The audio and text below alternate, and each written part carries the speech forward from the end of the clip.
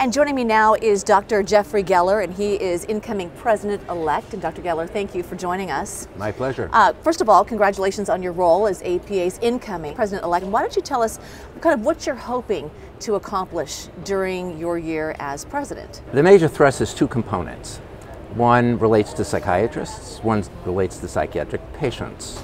So I would like to uh, help psychiatrists be better positioned to take care of psychiatric patients.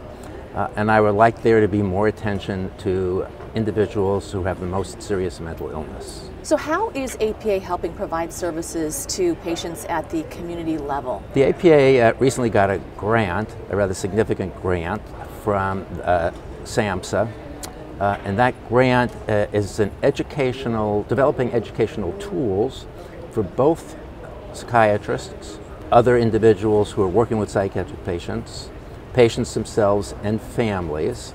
Uh, it's a web-based tool that provides information. Uh, it's, a, it's the uh, Clinical Support Systems Grant. It's a five-year grant. Uh, it is already uh, online in its initial stages, and that is specifically uh, directed at individuals with serious mental illness. So that is a huge step forward. APA was started by individuals who were superintendents of state hospitals. Uh, so uh, this being the 175th year anniversary, we have a 175 year history of taking care of people with serious mental illness. That includes in institutions and obviously these days much more so in community settings. Yes, it's come a long way. Now, how has APA helped you throughout your career? Uh, I think APA has helped me the way it helps uh, many psychiatrists. Uh, and one of the major ways is the annual meeting.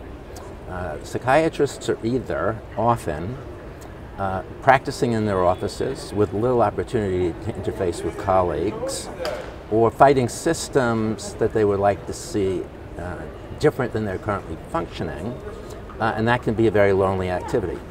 They come to the AP annual meeting and you get together with like-minded individuals who sometimes your only contacts are year to year to year at the annual meeting.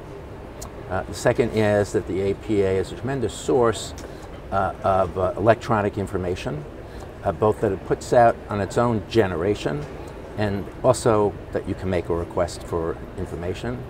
Uh, we have a revitalized library that is a wonderful source of information. The APA really is the political action operations for all psychiatrists uh, in terms of uh, both the federal level and the state level. Absolutely. All right. Well, Dr. Geller, thank you very much for your time. Appreciate it. Uh, you are most welcome. It's been a pleasure chatting with you. Thank you.